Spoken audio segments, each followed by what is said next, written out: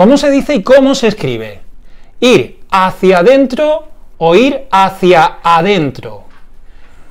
Ir fuera o ir afuera. Pues tengo que decirte que las dos opciones son válidas. Por lo tanto, me vale tanto una forma como otra, aunque eso sí, eh, normalmente en Latinoamérica, en los países eh, de habla eh, hispana de, de América, se usa más adentro y afuera. Y en España se usa más dentro y fuera. No obstante, las dos formas son válidas.